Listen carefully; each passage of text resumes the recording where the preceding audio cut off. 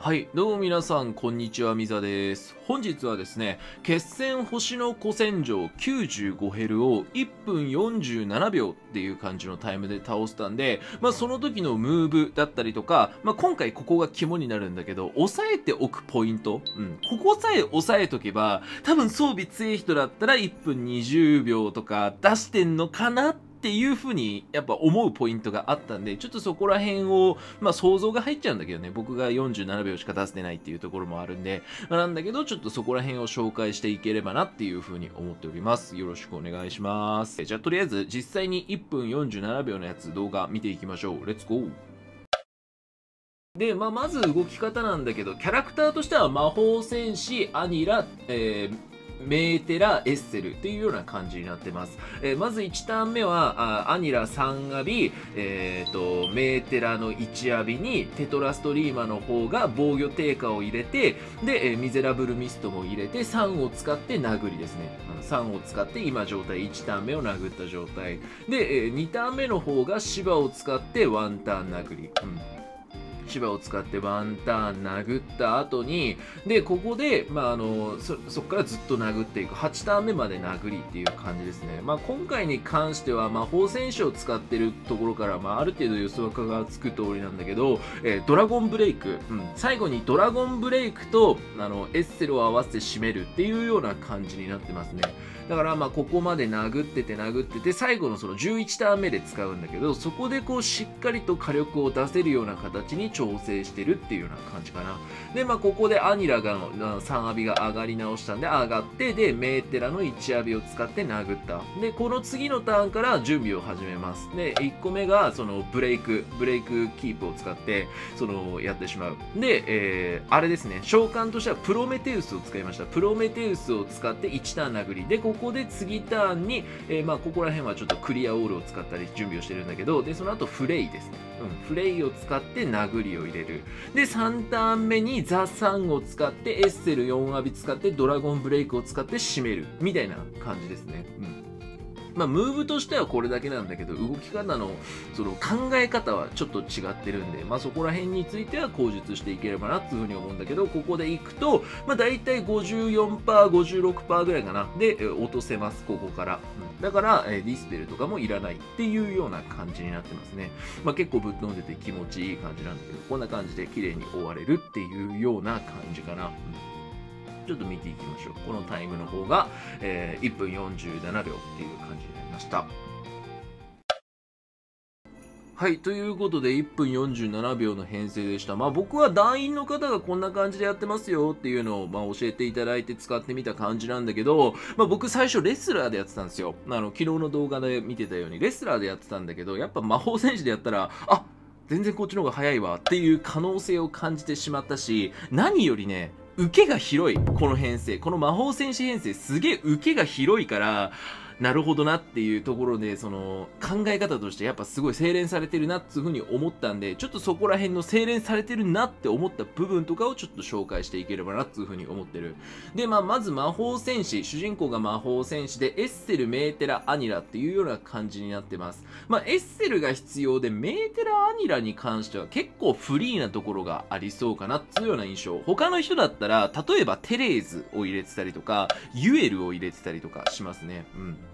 まあ、僕はメーテラのところ入れ替えてユエルとかも試してみたけど、ちょっとユエルだったらね、そのキルラインが少し狭まったかなっていうような印象で、ちょっとやりづらかった。僕はメーテラ、アニラ、エステルで結構落ち着きましたね。ちょっと攻めた状況でテレーズを試してみようかなっていう風に今後は思ってるっていうような感じかな。で、えー、魔法戦士のやつはミゼラブルミストとエレメンタルキャストとドラゴンブレイクが必須枠。うん。で、最後の1個はあのスペルブーストにしてたんだけど、僕クリアオールのが使いやすそうかなって思ってったんで、あの、エレメンタルキャストの呪文打つのがめんどくさいんで、クリアオールにしてみようかなっていうので、ちょっと変えてみてます。まあ、どうなるかわかんないっつう感じかな。で、えー、武器編成に関して、で、今回はドラゴンブレイクを使うので、テトラストリーマーがほぼほぼ必須枠な感じですね。うん。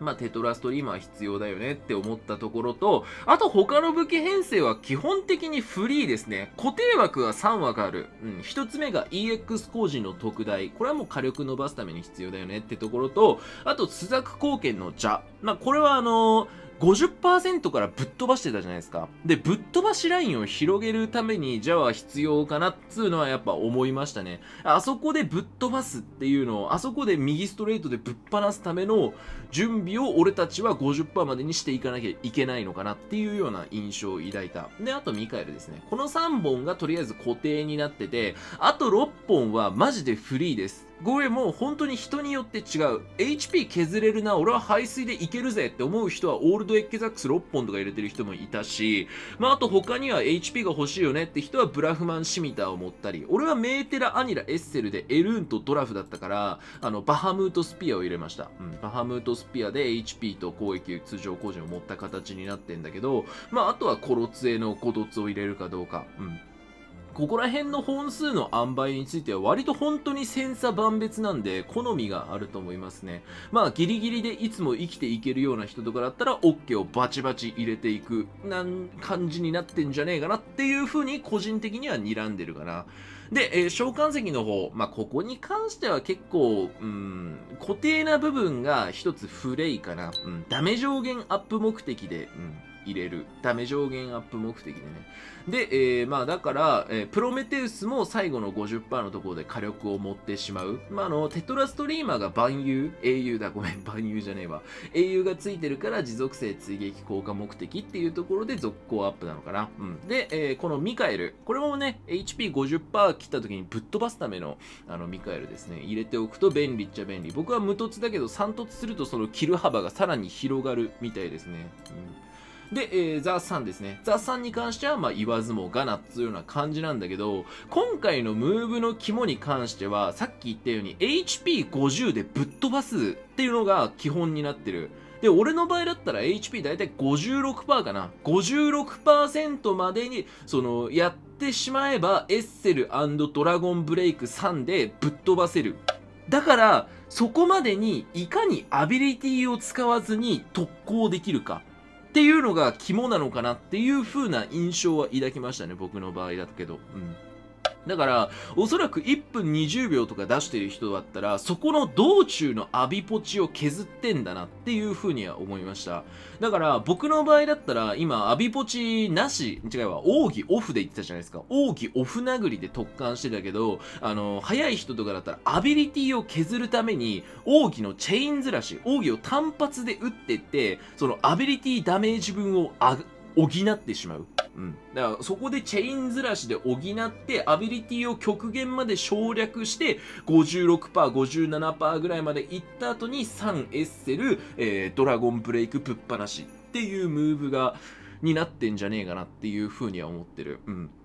だから僕がさっき、あの、テレーズを入れようかなっていう風に言ってたじゃないですか。で、テレーズを入れようかなっていう風に言ってたのはそこが理由で、扇ゲージの調整がしやすそうかなっていう風に思ったんですよ。まあ、アビポチをしてしまうっていうちょっとジレンマはあるんだけど、テレーズでその扇ゲージを持ってしまったりとか、扇ゲージを消費してしまったりとかでちょっとこう移動できればなっていうのを目的として僕はちょっと見てんだけど、うん。